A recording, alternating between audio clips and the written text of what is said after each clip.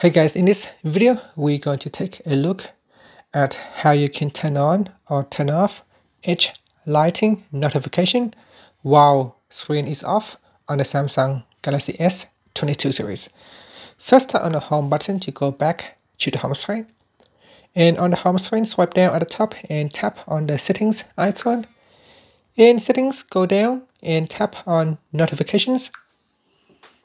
And in here, you want to go down and tap on brief pop-up settings. Now, if you do not see these settings, make sure that you select brief and then tap on brief pop-up settings. In here, tap on show even while screen is off. Okay, so make sure that is turned on. And then if we switch off the screen, you can see that when the screen is off, it will uh, show the edge lighting when you receive notifications. Alright, so I'm going to turn it off.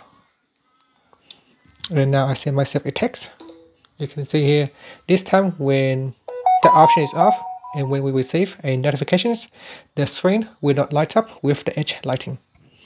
And that's it. So that is how you can uh, have it on or off using this uh, option right here. And finally, you can tap on the home button to go back to the home screen. Thank you for watching this video. Please subscribe to my channel for more videos.